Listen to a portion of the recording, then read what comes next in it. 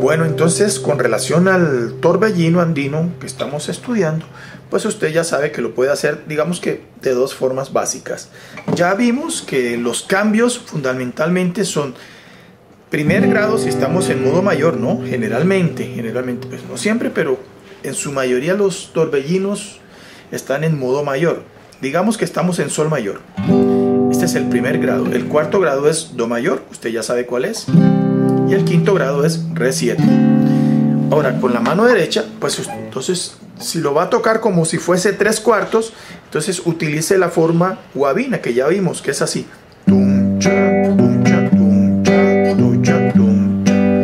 Ahora, con los cambios armónicos, esto quedaría algo así.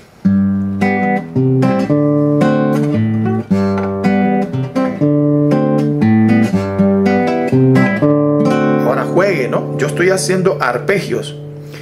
Pues hay que tratar de buscar recursos como para ambientar y recrear, recrear un poco las obras, ¿no? Para, pues, para evitar un poco como la monotonía que llamamos, ¿no? Porque si yo lo toco todo el tiempo, ok, funciona. Pero usted puede hacer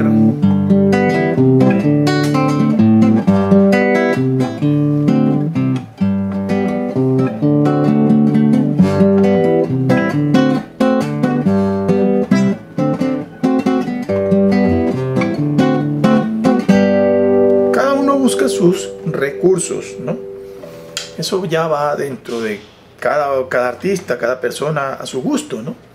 A su criterio. Bueno, entonces la otra forma que les dije es algo así como bambuqueado, ¿no?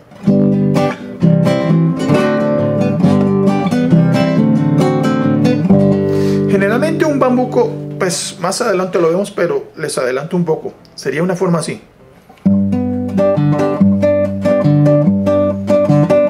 Entonces, si ustedes le escuchan la tambora,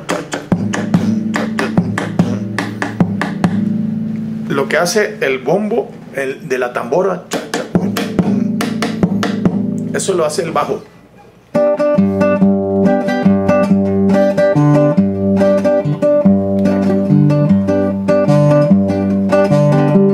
Entonces, no hay una sola forma de tocar ese sistema bambuco que hay en Colombia y muchos países. Pero es para que ustedes lo tengan presente, ¿no? Voy a aprovechar para compartirles un ejercicio para que lo practiquen en su casa. Usted tiene su guitarra. Suponga que esto es una tambora. Entonces, con su mano izquierda, quienes somos diestros, digamos, manejamos la mano derecha. Entonces, con su mano izquierda, haga así, haga así. Cha, cha, un, dos, cha, chan, ta, tan, ta, tan, ta, tan, ta, tan, ta, tan, ta, tan. Este es el pulso, ¿no? Y dice, un, dos.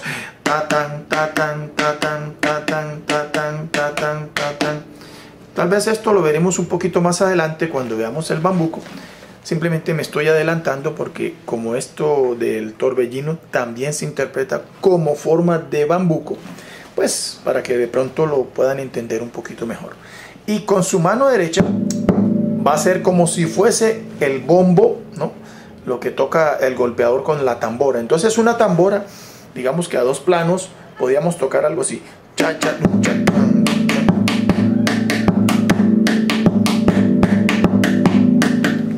Esta mano izquierda generalmente lleva un ostinato así.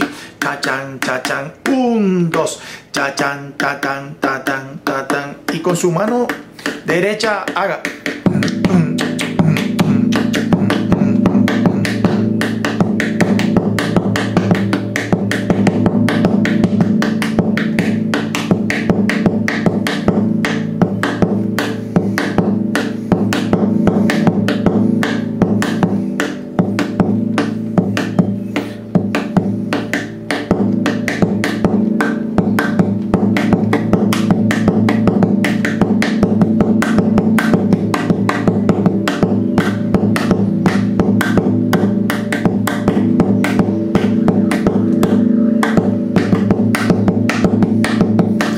Yo sé que esto es un poquito muy complejo. Es posible que algunas personas capten la idea.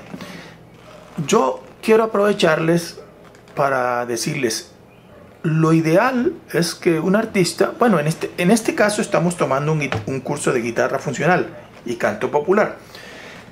Pero yo desde el primer video que les compartí les dije que lo ideal es que una persona que cultive la música debe ser integral. Es decir, debe ser rítmico, entendido rítmico como todo, todo lo que hacemos es rítmico.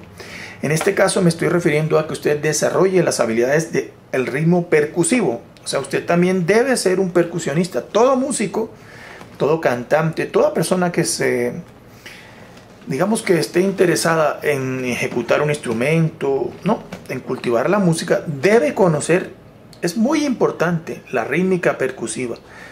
Entonces la percusión pues lo afinca uno, le ayuda a uno a la estabilidad rítmica. Y bueno, también a la coordinación, a la independencia, ¿no? Entonces yo aprovecho para decirles también hagan ejercicios rítmicos, percusivos, con su cuerpo, porque el ritmo se, se aprende primero es con el cuerpo, pero pues no hay tiempo, no hay espacio en este curso. Bueno, pero aquí les dejo como esta invitación, ¿no? Entonces, todo esto es para que usted lo aplique en la guitarra.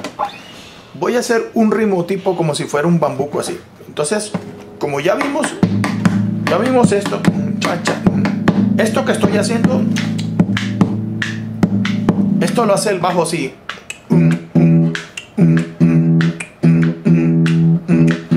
Ahora, entonces, aplicado.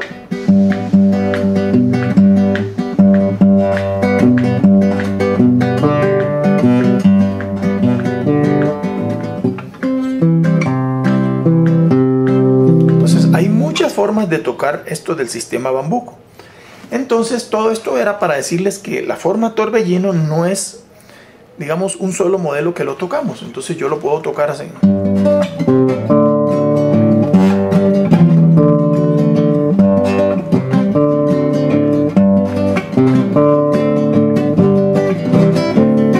Generalmente los grupos tocan con tiple, guitarra, requinto, ¿no? Pero como estamos hablando de que usted es un guitarrista solo, está en su casa o en una reunión y le mm, solicitan, oiga, ¿por qué no, se, no me acompaña un, un torbellino? Pues bueno, usted puede ser recursivo, ¿no? Entonces esto rellena mucho, ¿no? Porque si yo lo toco como si fuera una guitarra solo,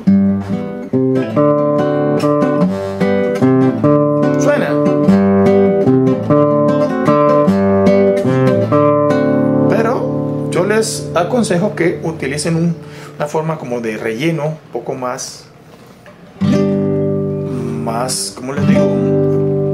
Más densa, ¿no? O sea,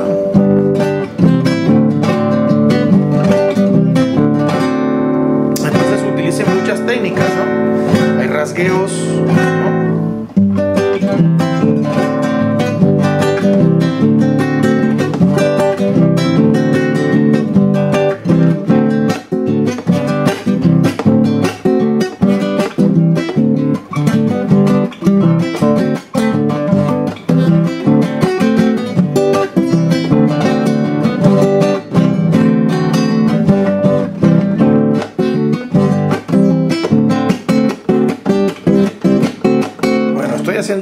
acá, entre comillas, para decirles que uno busca recursos, ¿no? Cómo acompañar las obras cuando uno está solo. Pues cuando ya usted esté con un conjunto, un ensamble, bueno, cada uno pues mirará qué partes va a ejecutar, ya solo concertan, le dice, oiga, usted toque tal, de tal forma, cosa que no vaya a haber choques, pues que haya como como un ensamble más, más compacto, más limpio, más ajustado. ¿no? Bueno, maestros, entonces creo que con esto de que les he explicado, pues espero que canten y toquen torbellinos.